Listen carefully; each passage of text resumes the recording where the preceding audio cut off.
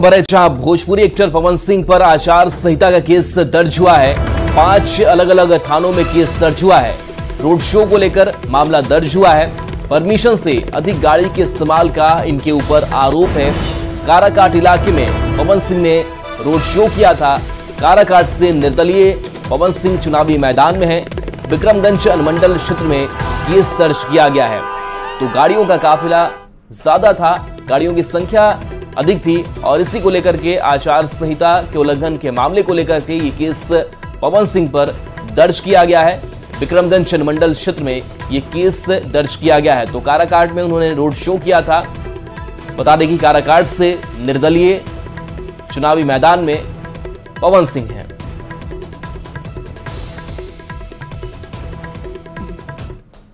और अब बात करते हैं बिहार की hot Lok Sabha seat, Purnia Lok Sabha seat की। बिहार में काफ़ी हॉट सीट बनी हुई है, क्योंकि पूर्णिया लोकसभा सीट से निर्दलीय चुनाव लड़ रहे पप्पू यादव ने आरजेडी नेता पर गाली देने का आरोप लगाया है। पप्पू यादव ने कहा है कि उनको अब शब्द बोला गया, छोटे साहब को देखना चाहिए। वहीं आरजेडी की तरफ़ से पप्पू यादव के समर्थकों पर हमला करने का आरोप लगाया गया है।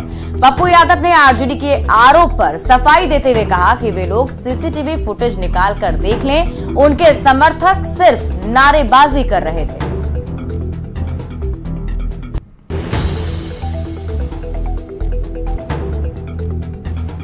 भूल गया कि उनकी भी माँ बहन है। जिस तरीके से माँ बहन को गाली दी गई है, एक क्रिमिनल के द्वारा जो सजायाफ्ता है, वो उनके मंच पर भी थे नॉमिनेशन के दिन उनके सब जगह थे। तो अब आप सोचिए कितना नैतिक स्तर गिर गया। यहाँ पर बैठ करके जदयू के लिए प्रचार किए कि जदयू को दे दो। जगह उनके खिलाफ नारा चली है। जनता ने पप्पू यादव जिंदाबाद, सभी जगह। तो सीसीटीवी निकाल के देख लीजिए कौन लोग होते दूसरे चरण की वोटिंग को लेकर पुलिस प्रशासन एक्शन मोड में नज़र आ रही है। भागलपुर पुलिस ने कांग्रेस उम्मीदवार अजीत शर्मा के होटल में छापेमारी की और हर कमरों की तलाशी ली। इसकी सूचना मिलते ही बड़ी संख्या में आरजेडी और कांग्रेस के कार्यकर्ता मौके पर पहुँच गए और जमकर नारेबाजी की। तो ये तस्वीर जहाँ कांग्रेस उम्मीदवार छब्बीस तारीख को भागलपुर में मतदान होना है और आप देख सकते हैं कि पुलिस की कार्रवाई लगातार की जा रही है। हर एक होटल में जो है पुलिस जो है जाकर जाँच कर रही है कि कहीं कोई बाहरी आदमी जो मतदान को प्रभावित कर सकता है। ऐसे लोग तो होटल में नहीं ठहरे हुए हैं या कहीं से पैसे का लेन देन का सवाल हो तो उसको लेकर भी हर एक रूम की तलाशी पुलिस के द्वारा ली जा रही है।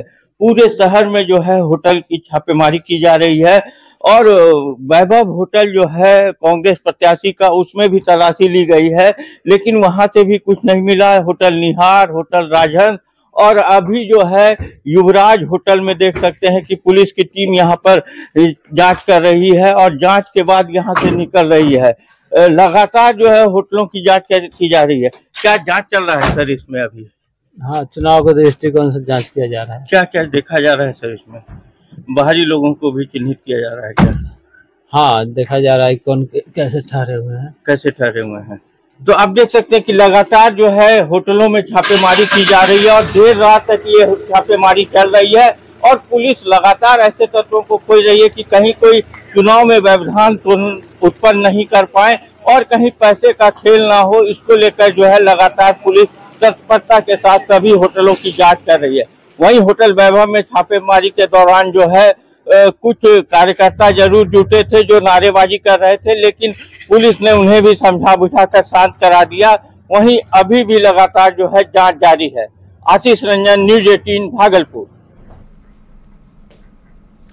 समस्तीपुर के उजियारपुर लोकसभा क्षेत्र से अमरेश राय ने नामांकन दाखिल किया है। अमरेश राय ने आरजेडी से बागी होकर चुनाव लड़ने का फैसला किया है। अमरेश राय खुद को लालू प्रसाद और तेजस्वी यादव का हनुमान बताते हैं। उनका कहना है कि यहाँ के बाहरी उम्मीदवार के खिलाफ उनकी लड़ाई है।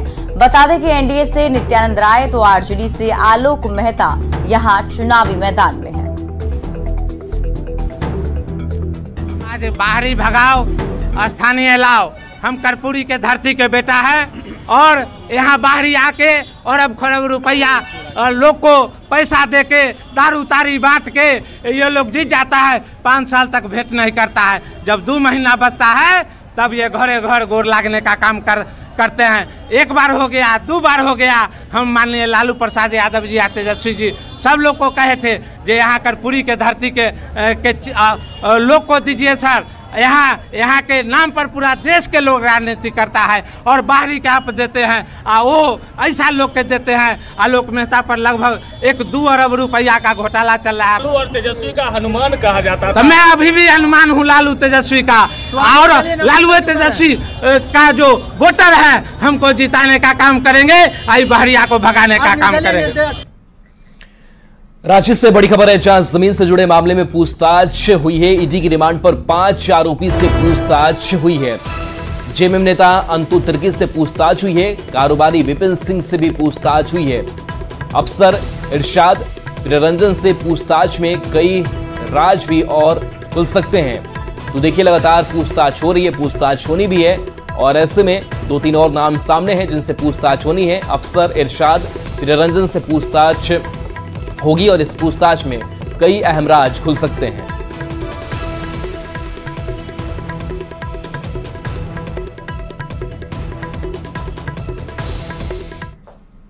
बिहार में तीन जनसभा को संबोधित करने के बाद बीजेपी के राष्ट्रीय अध्यक्ष जेपी नड्डा ने पार्टी कार्यालय में चुनाव प्रबंधन समिति के साथ बैठक की और इस बैठक में दोनों डिप्टी सीएम भी मौजूद रहे। बैठक में चुनाव की रणनीति पर चर्चा हुई। बीजेपी अध्यक्ष ने पार्टी नेताओं से चुनाव को लेकर फीडबैक लिया तो वहीं आगे के लिए कई दिशा निर्देश भी दिए। बैठक के बाद जेपी नड्डा दिल्ली के लिए रवाना हो गए।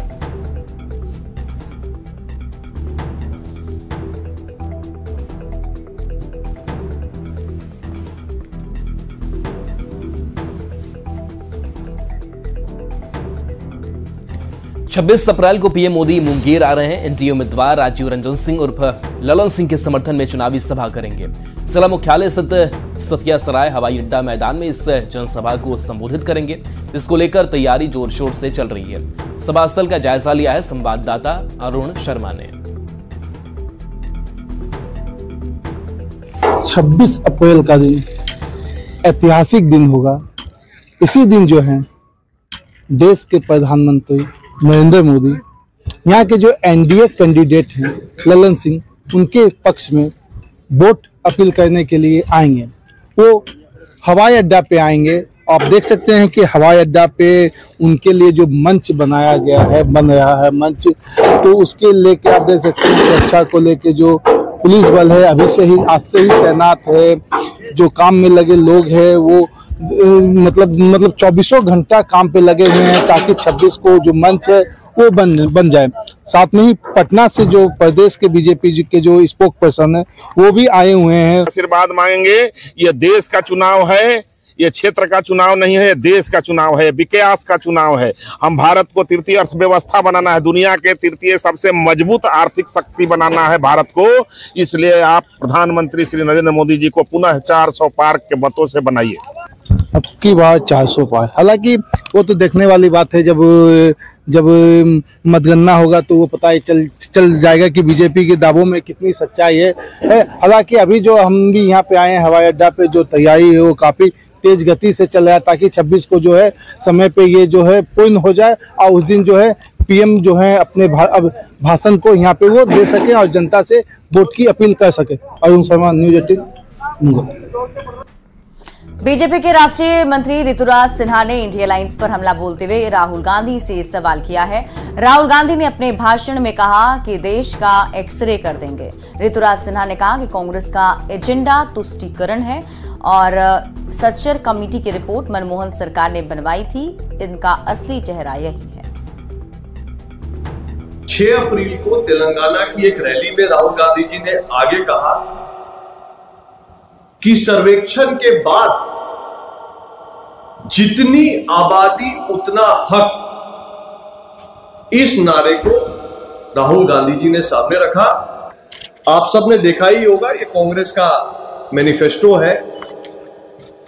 इस मैनिफेस्टो के पेज नंबर आठ से मैं पढ़ रहा हूँ।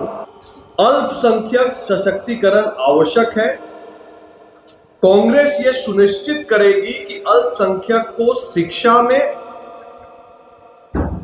सरकारी नौकरी में और पीएसयू में उचित अवसर प्रदान हो। कांग्रेस की ये जो बात है, ये अचानक से नहीं आई है। इनका ये हमेशा से एजेंडा रहा है, तुष्टीकरण का एजेंडा वोट बैंक बनाने का एजेंडा पीएम मनमोहन सिंह ने दिसंबर 2006 में, जब ग्यारहवीं फाइव ईयर प्लान योजना बैठक चल रही थी। इलेवेंथ फाइव ईयर प्लान की योजना बैठक में पूर्व प्रधानमंत्री मनमोहन सिंह जी ने कहा था कि देश की संपत्ति पर, संसाधन पर सर्वप्रथम अधिकार मुसलमान समाज का अल्पसंख्यक समाज का है। केंद्रीय गृह राज्य मंत्री नित्यानंद राय ने कांग्रेस पर हमला बोलते हुए कहा कि कांग्रेस पार्टी तुष्टीकरण के एजेंडे पर काम करती है। उन्होंने कहा कि कांग्रेस की नज़र अब आपकी संपत्ति और ज़मीन जायदाद पर है। कांग्रेस पार्टी हमेशा तुष्टीकरण और अन्य विभेद को फैलाकर समाज को बांटने का प्रयास करती है और उसी के सहारे सत्ता में आने की कोशिश करती है। इंडी गठबंधन के लोगों की नज़र अब सामान्य लोगों की संपत्तियों पर भी है और कह रहे कि हम इसका सर्वे कराएँगे और उससे जो भाव निकलता है, मैं एक उदाहरण के रूप में कहना चाहता हूँ कि अगर किसी के पास दो घर है, किसी का एक गाँव में घर है और एक शहर में घर है तो दो घर बताकर एक घर आपको हड़प लेगी या फिर दो घर है और गाँव के ही दो स्थानों पे है तो उसमें से एक वह हड़प लेगी। और इसके साथ साथ जो लाइन जोड़ती है कि इस देश के संसाधनों पर, संपत्तियों पर बहुसंख्यकों का कोई अधिकार नहीं है, और है भी तो पहला अधिकार पहला अधिकार अल्पसंख्यकों का है। यानी कि इसमें भी वोट के लिए तुष्टिकरण की झलक साफ़ साफ़ है। दूसरे चरण में वोटिंग प्रतिशत अच्छा हो, इसके लिए निर्वाचन आयोग ने एक बूथ पर, हर एक बूथ पर तैयारी शुरू कर दी है। और इस बार हर एक बूथ पर मतदाताओं को लाइन में खड़े रहने की जगह बैठने की व्यवस्था की गई है। मुख्य निर्वाचन पदाधिकारी से बातचीत की है संवाददाता विनीता मिश्रा ने। लोकसभा चुनाव के दूसरे चरण के तहत 26 तारीख को वोटिंग होगी। हालाँकि अगर फ़र्स्ट चरण की हम बात करें तो पिछले चुनाव के मुकाबले पाँच प्रतिशत कम मतदान हुआ था। दूसरे चरण में मतदान को बढ़ाना है और इसके लिए चुनाव आयोग लगातार कोशिश करता हुआ नज़र भी आ रहा है। मुख्य निर्वाचन पदाधिकारी हमारे साथ हैं। असर फ़र्स्ट फ़ेज़ में प्रतिशत थोड़ी कम हुई थी। सेकंड चरण में प्रतिशत बढ़ाया जाए, इसके लिए क्या कुछ तैयारी है? नहीं, हम लोग व्यापक चर्चा किया है। उसके लिए बहुत सारे मेजर्स भी हम लोग इम्प्लीमेंट कर रहा है। जैसे हमने सभी पोलिंग स्टेशन का फ़िज़िकल वेरिफिकेशन कराया। जिस जिस पोलिंग स्टेशन में मान लीजिए बूथ के बगल में दूसरा कोई रूम है, काली रूम है, उसमें फर्नीचर है, हम लोग मतदाताओं को लाइन में खड़ा होने के बजाय वो लोग बगल वाले रूम में बैठे रहेंगे। जब उनका बारी आएगा, उस समय जा करके अपने मतदान करेंगे। अगर रूम नहीं है कॉरिडोर है तो कॉरिडोर में भी फर्नीचर की व्यवस्था कर रहा है ताकि वो लोग खड़े ना हो जाए, बैठे रहे, अपनी जब टर्न आएगा तो जाके वोट करें।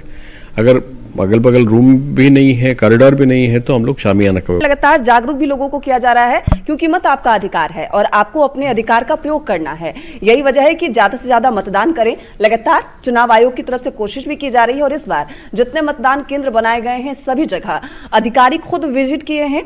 तमाम जो तैयारी है, उसकी जानकारी ली गई है। साथ ही साथ जो मतदाता मतदान केंद्रों पर वोट करने आएँगे, उनके बैठने की व्यवस्था भी दूसरे चरण के तहत देखने को मिलेगी। विनीता मिश्रा न्यूज़ 18 पटना। भागलपुर में लोकसभा के लिए 26 अप्रैल को चुनाव है। शांतिपूर्ण में चुनाव कराने के लिए जिला प्रशासन और पुलिस प्रशासन काफ़ी ज़्यादा एक्टिव है। सभी वाहनों की तलाशी ली जा रही है। हथियार शराब और कैश को लेकर पुलिस शहर के कई चौक चौराहों पर जाँच अभियान चला रही है। मौके से ज़्यादा जानकारी दे रहे हैं संवाददाता आशीष रंजन। 26 तारीख को भागलपुर में मतदान है और आप देख सकते हैं कि रात का समय है और आधी रात में जो है पुलिस लगातार जो है चौक चौराहों पर जो है गाड़ियों की तलाशी ले रही है। दरअसल शराब की खेप तो नहीं आ रही है, ना ही पैसे को लेकर कहीं कोई खेल चल रहा है। इसको लेकर जो है लगातार पुलिस तत्पर है और हर एक गाड़ी की जाँच की जा रही है। सभी गाड़ियों का डिक्की खोलकर जो है उसका जाँच किया जा रहा है। मजिस्ट्रेट साथ में है और पुलिसकर्मी के द्वारा हर एक गाड़ी की तलाशी ले जा रही है कि कहीं किसी प्रकार का कोई अवैध हथियार हो या शराब हो या कैश का जो लेन देन होता है चुनाव के दौरान उसको तो कहीं नहीं ले ले जाया जा रहा है। इसको लेकर जो है लगातार पुलिस की टीम जो है जाँच में जुटी हुई है। जो इलेक्शन का अभी चल रहा है प्रोसेस उसमें तलाशी वगैरह किया जा रहा है कि कोई अवैध सामान नहीं जाए कोई गलत तरीके से कोई कैश वगैरह नहीं जाए है ना? और उसका मिसयूज नहीं हो इलेक्शन में। शाम में चुनाव प्रचार थमने के बाद जो है, पुलिस और जो टीम है, पूरी वो चौकस हो चुकी है और लगातार जहाँ एक तरफ़ होटल की जाँच की गई है। वहीं अब जो है, सड़कों पर जो है, पुलिस लगातार जो है, गाड़ियों की तलाशी ले रही है। Ashish Ranjan, news eighteen, Bhagalpur. Lok Sabha चुनाव को लेकर गोपालगंज पुलिस मिशन सुरक्षा अभियान चला रही है और इसके तहत पिछले 10 दिनों में पुलिस ने 10 अवैध हथियारों को जब्त किया है। जब्त हथियार में कार्बाइन, राइफल, ऑटोमेटिक पिस्टल समेत कई अत्याधुनिक हथियार शामिल हैं। छह से ज़्यादा शातिर अपराधियों को गिरफ़्तार कर जेल भेजा गया है।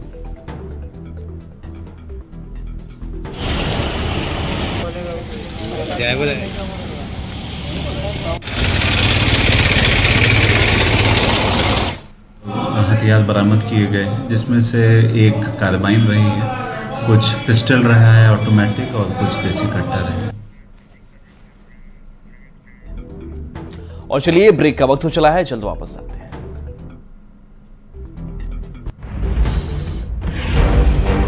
पूरे देश ने मन बना लिया है कि इस बार बीजेपी और बार बार बीजेपी ओवरऑल जो परफॉर्मेंस है बहुत अच्छा राहुल गांधी। राहुल गांधी। मुसलमानों के ठेकेदार बने फिरते हैं कुछ लोग उनको इस बार खत्म करें। राहुल गांधी आगे तो रोज़गार पर बिहार में बदलाव चल रहा है और होगा।